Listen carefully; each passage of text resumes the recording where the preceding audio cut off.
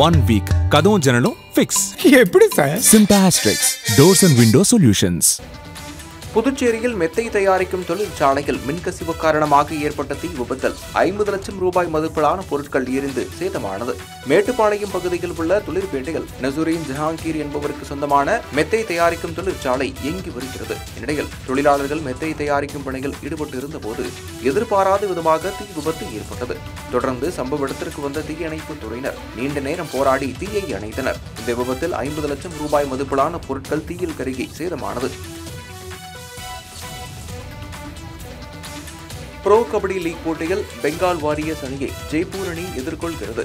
ஹைதராபாத்தில் தொடங்கிய இந்த போட்டியின் லீக் ஆட்டங்களில் நாடு முழுவதிலும் இருந்தும் பல்வேறு அணிகள் பங்கேற்றுள்ளது. அந்த வகையில் இன்று இரவு நடைபெறும் லீக் சுற்றில் Bengal Warriors Jaipur Pink Panthers அணிகள் பலப்பரிச்சை நடத்துகின்றன.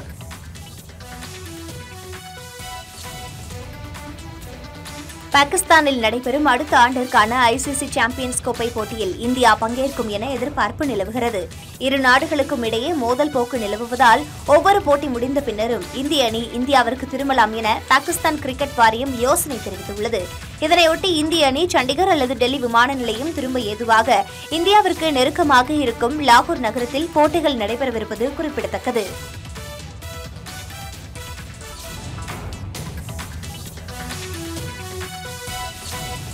ஆந்திர மாநில காங்கிரஸ் கட்சி தலைவர் ஒய் எஸ் ஷர்மிளா அரசு பேருந்தில் டிக்கெட் வாங்கி பயணித்தார்.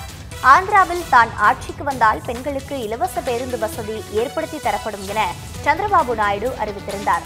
இந்நிலையில் அவர் முதலமைச்சரான பின்பு தற்போது வரை அந்த திட்டம் நிறைவேற்றப்படவில்லை.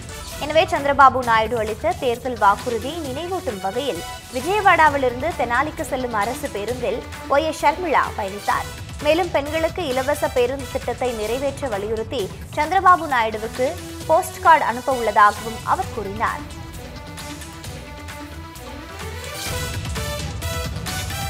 மகளிர் டி டுவெண்டி உலகக்கோப்பை கிரிக்கெட் தொடரின் இறுதிப் போட்டியில் தென்னாப்பிரிக்க அணியும் நியூசிலாந்து அணியும் மோத உள்ளனர் ஒன்பதாவது மகளிர் டி டுவெண்டி உலகக்கோப்பை கிரிக்கெட் போட்டி ஐக்கிய அரபு அமீரகத்தில் உள்ள துபாய் மற்றும் சார்ஜாவில் நடைபெற்று வருகிறது.